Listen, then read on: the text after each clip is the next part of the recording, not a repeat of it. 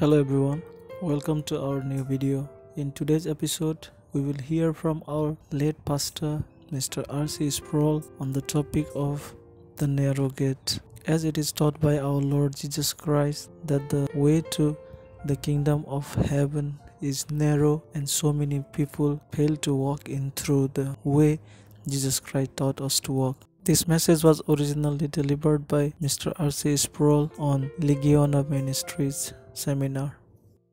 Enter by the narrow gate. For the gate is wide, and the way is easy that leads to destruction. And those who enter by it are many. For the gate is narrow, and the way is hard that leads to life, and those who find it are few. Again, this is not my opinion. This is the teaching of the Lord Jesus. And he sets before his disciples two contrasts a narrow way and a broad way, or a straight way and a narrow door, and a wide way and a broad door. And the other contrast is with respect to the number of those who go each way. Those who go the broad way that leads to destruction are many. Those who go the straight way to the narrow gate are few. Now, here's what I hear Jesus say that most, if not the vast majority of human beings that you know and that I know are on their way to hell. And if they were to die tonight, would go to hell. He would also say to me, statistically, that there's a significant number of people in this room right now who, if they died tonight, would wake up in hell. Because they're on the broad way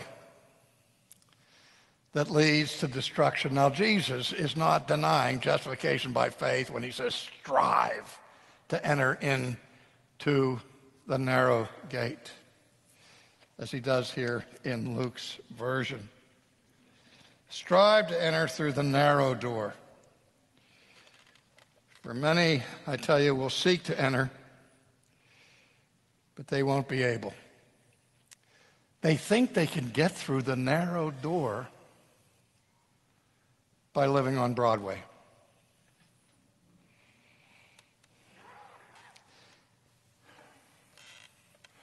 But here's the problem it gets worse. Jesus doesn't stop there about the few and the many, the narrow and the wide. But he said, when once the master of the house has risen and shut the door, and you begin to stand outside to knock at the door, saying, Lord, open to us. They don't just say, Who's ever in there, please open to us. They say, Lord, Lord, open the door. And Matthew's version, he said, they will say to him, Lord, Lord, didn't we do this in your name? Didn't we do that in your name? And Jesus said, And I will say to them, Who are you?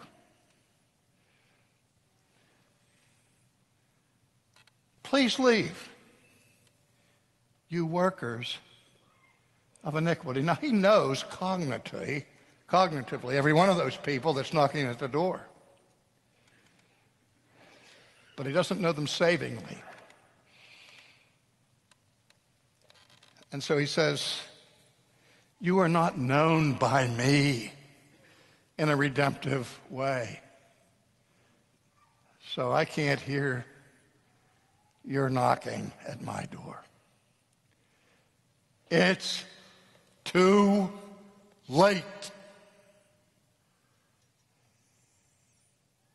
I can remember walking down a hall in a house back in Pennsylvania. and There was a mirror on the wall. And as I walked past that mirror, I caught a reflection of myself, which was not a pleasant experience. but as I looked in the mirror, the thought struck me what if you're deceiving yourself about the state of your soul? What if you are going to hell? I was terrified.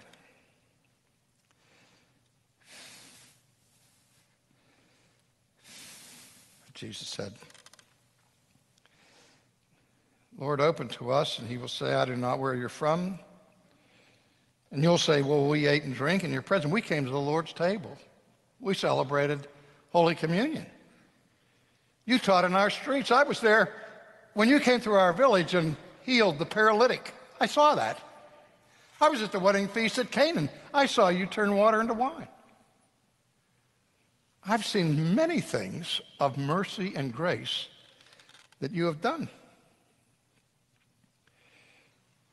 I tell you, I don't know where you come from. Depart from me, all you workers of evil. And then he describes the nature of that place where they're going and the human response of being in hell. Do you ever wonder what people are doing who are in hell? Jesus doesn't describe every activity that takes place there. But he does describe two responses of humans who have been consigned there, where he says, In that place, there will be weeping and gnashing of teeth. Some people, when they wake up in hell, will be devastated. And they won't find enough water in their eyes to satisfy their need to weep. They'll be sobbing. Oh no, not here. Oh God, please have mercy upon me be the greatest disappointment they could possibly experience to wake up in hell. But then the other group will be there, won't be weeping a bit. They'll be gnashing their teeth,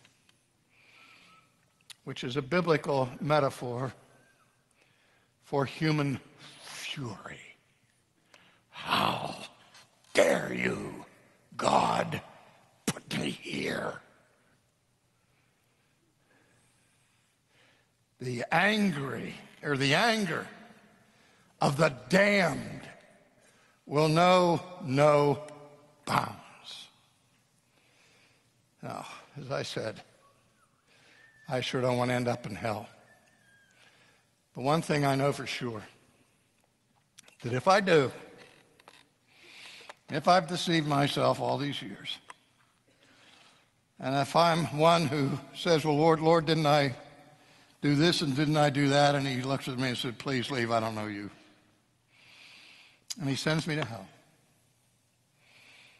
One thing I can promise you that I'll be a weeper, not a gnasher.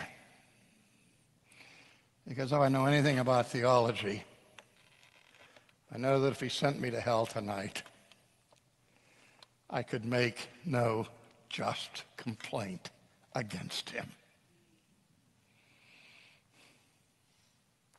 I've been guilty of treason,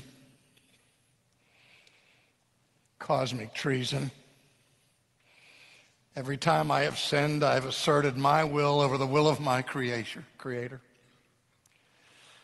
I have declared that I am sovereign, not the Lord God. I've worked against his kingdom, not for it. I've sinned against a holy and infinitely righteous being who owes me nothing. And if I wake up in hell, I will realize I've only received what my life has merited. Not cruelty, not injustice, but perfect justice. I understand that. So I don't want to go there. I don't want anyone else to go there. Even though I love the majesty of God as a fallen human being, I have so much more in common with my comrades in the flesh. And so I have so much sympathy to think of anybody in hell. In fact, I don't think I, I would believe in hell if it were not taught so clearly by Jesus himself. Did you know that Jesus taught more about hell than he did about heaven?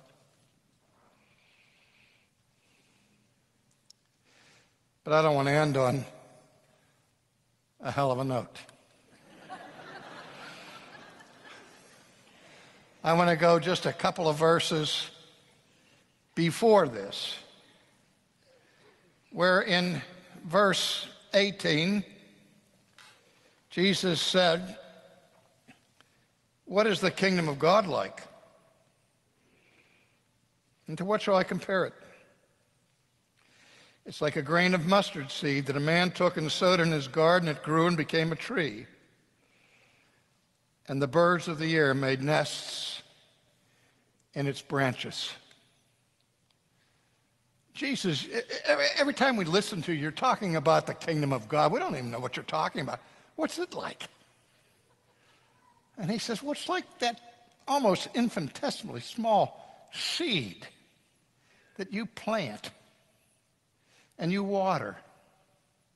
And then it pokes its little head through the earth, a little sprig that begins to grow and expand, not just to a bush, but to a tree of 10 or 15 feet high with a vast outreach of branches so thick that birds of all kinds of different varieties can come and nest in its branches. Not just land there for a few seconds, but build a nest in there.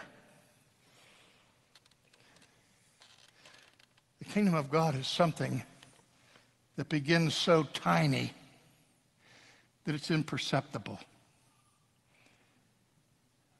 but blossoms and blooms and grows and expands to the whole world.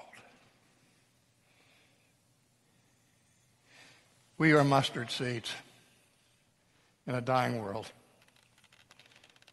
Not just a neo pagan culture, a barbarian culture.